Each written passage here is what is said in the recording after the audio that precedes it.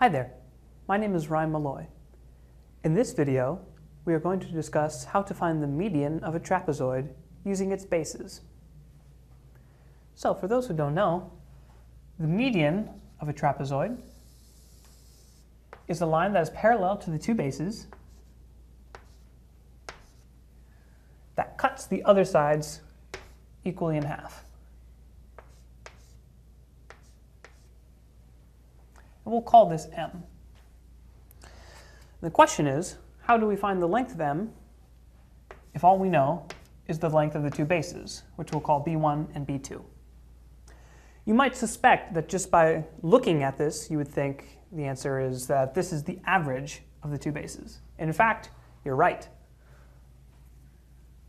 The length of the median is simply equal to the sum of the two bases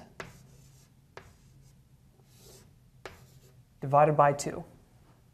So, go through a quick example. Let's say that this base is equal to 8 centimeters, of course. You never want to drop your units. And let's say that the top base is equal to 4 centimeters. Well, we can simply plug that into our formula. And we see that m is equal to 8 plus 4 over 2 equal to 12 over 2, which is simply 6. And there we have it.